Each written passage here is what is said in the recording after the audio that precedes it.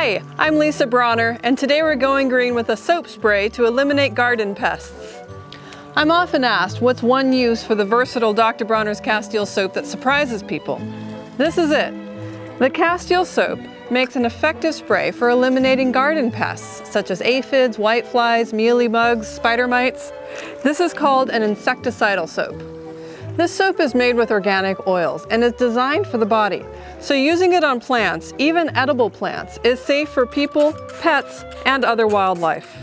It also doesn't harm beneficial insects like bees, ladybugs, or praying mantises, and it readily biodegrades.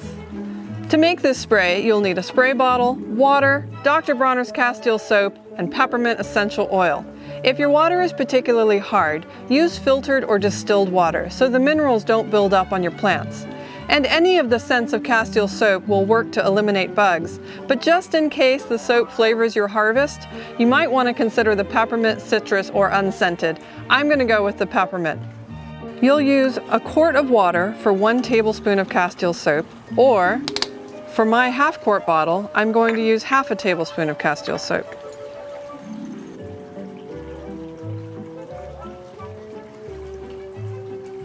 To deter future pests, add 20 drops of peppermint essential oil per quart or 10 drops to my half quart solution. Other natural deterrents are garlic powder, ground cinnamon, or cayenne pepper. Add a quarter teaspoon per quart of water. To remove the pests, the spray needs to contact them while wet. Once the spray dries, it has little effect. Apply this in the cool of the day so that it does not evaporate immediately. Coat the leaves thoroughly, keeping in mind that bugs like to hide on the underside of the leaves. For severe infestations, apply the spray both morning and evening until things are under control. The best defense against garden pests is prevention. This starts with strong plants and healthy soil.